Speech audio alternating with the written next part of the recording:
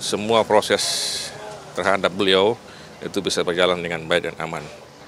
Kondisi inilah kondisi kedukaan.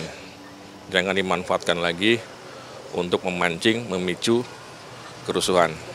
Kami aparat keamanan pada saat tadi sangat persuasif.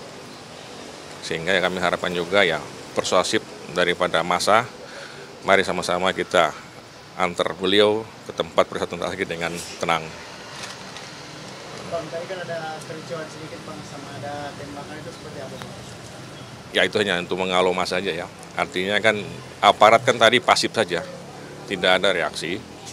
Nah, ketika sedang mengamati, mengamankan proses, aparat diserang oleh massa, nah, sehingga itu respon yang diberikan oleh aparat untuk menghentikan tindakan penyerangan terhadap aparat.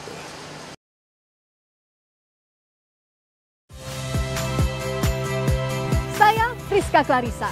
Saksikan program-program Kompas TV melalui siaran digital, pay TV, dan media streaming lainnya. Kompas TV, independen, terpercaya.